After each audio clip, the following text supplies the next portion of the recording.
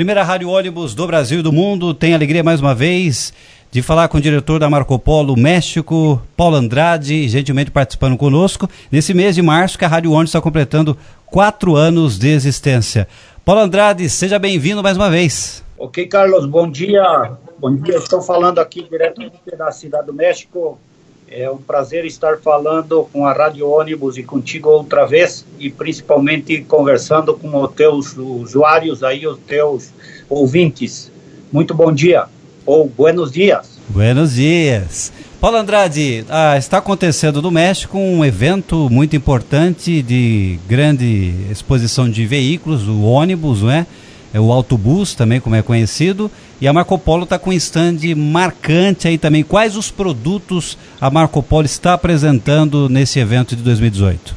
Veja bem, é, esta exposição, ela se chama Expo Fórum, ela acontece a cada dois anos e é organizada pela Canapat, que é a Câmara Nacional do Autotransporte, que são uh, as maiores empresas de transporte eh, rodoviários e também urbanos uh, de todo o país. Eles que organizam este evento e nós estamos participando como Marco Polo, com uma estante própria, pela segunda oportunidade é, dado é, o já conhecido que nós agora é, estamos incursionando a Marco Polo mais independente como como nós trabalhamos no Brasil como um encarroçador independente sem estar vinculado necessariamente a um fabricante de chassi.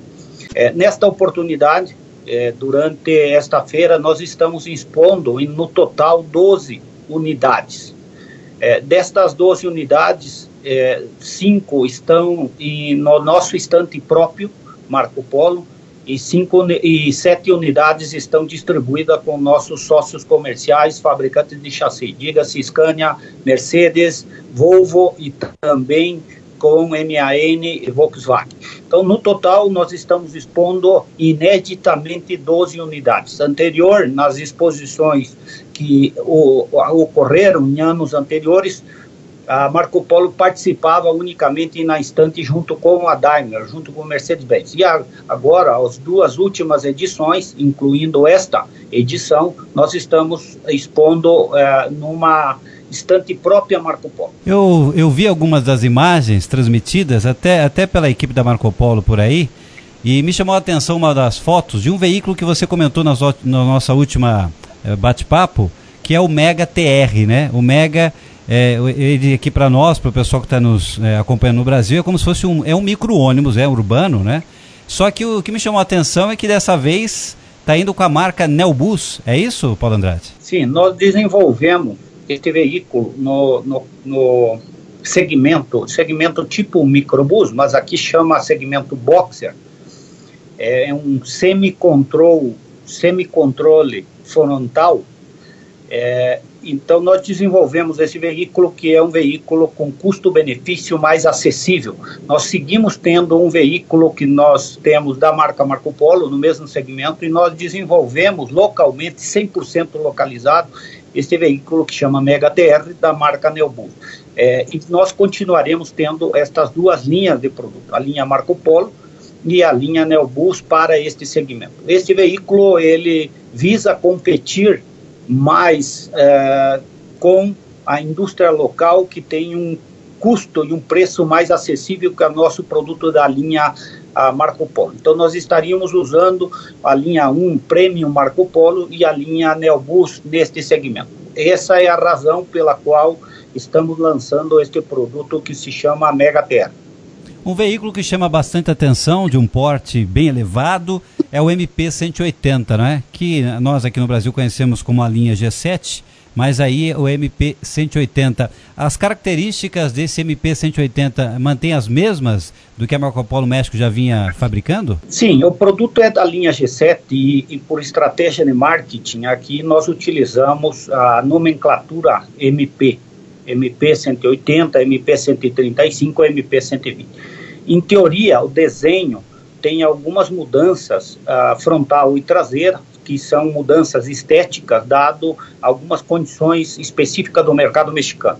E quanto a, a, parte interior ele tem algumas adequações em relação ao produto brasileiro, é, dado as configurações de chassi é, existente aqui no México, que algumas configurações são distintas do mercado brasileiro.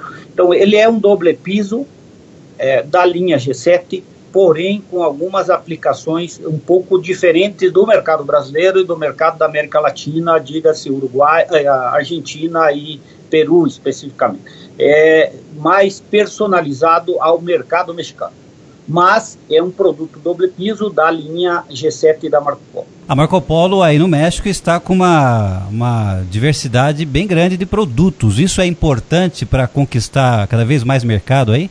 Na verdade, dentro do nosso planejamento é, é, é, de crescimento no mercado mexicano, é, nós ampliamos o portfólio do produto também pela abertura do negócio da Marco Polo a encarroçar sobre outros fabricantes de chassi, não somente com o chassi Mercedes. Isso ha ampliado o nosso portfólio de produto desde um doble piso até um minibus, passando também pelos produtos especializados, BRT, low entry, todos os produtos, inclusive com produtos é, com é, combustíveis alternativos, diga-se com CNG. Fizemos um articulado com CNG e agora estamos apresentando um carro low entre 12 metros, também com gás natural.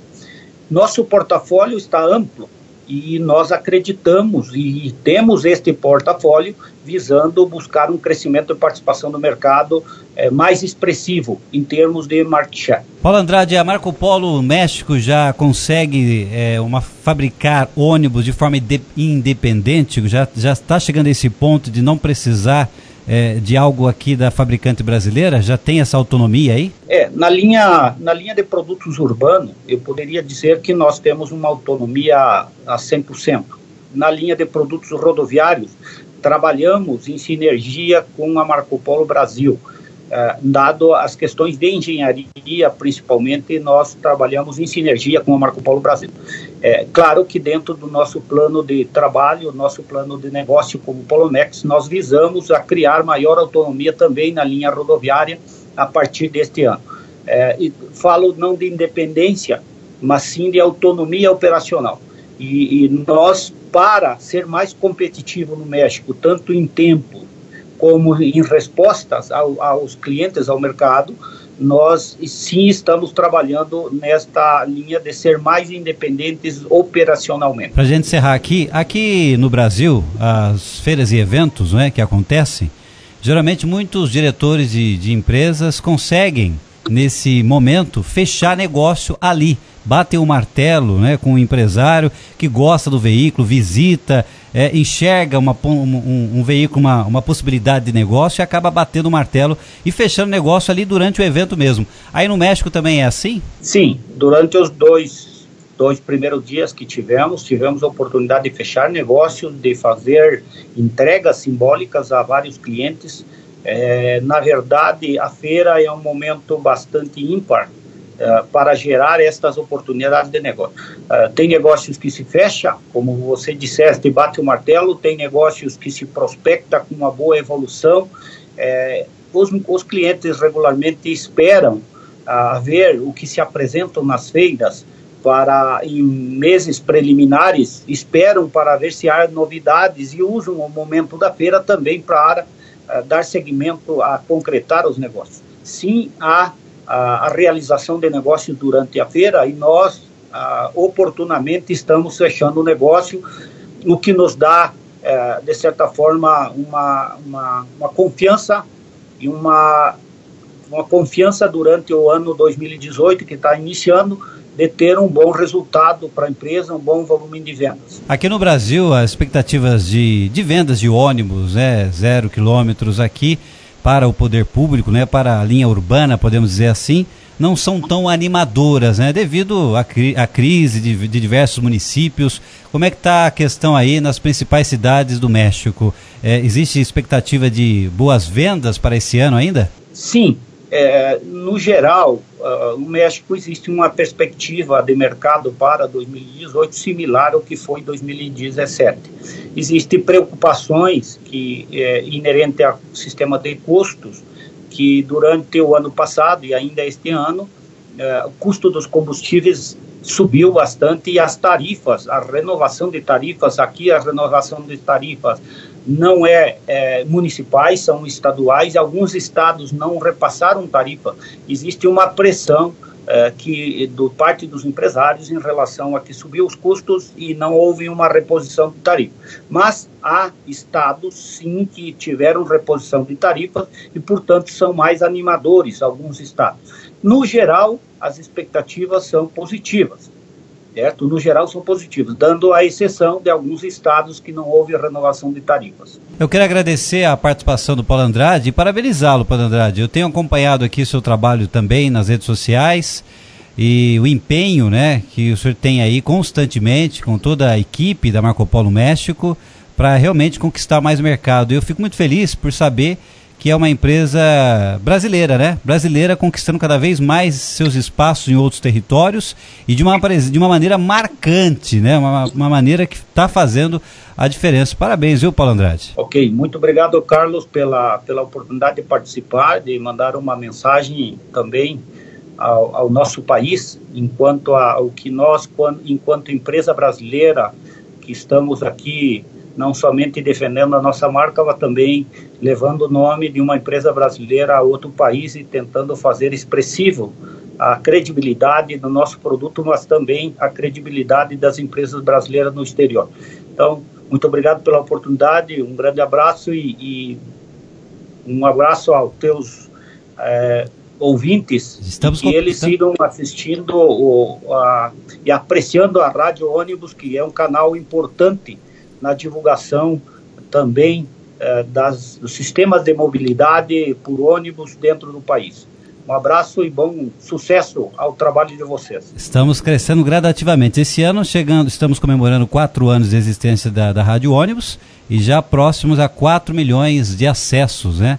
É, de maneira bem interessante, chegando em vários países, inclusive aí no México também. Bom, estamos esperando a tua internacionalização também para o México. Estaremos aí em breve. Obrigado, Paulo Andrade. Tudo de bom. Fiquei muito feliz aqui pela, pela presença. Bom dia, um grande abraço.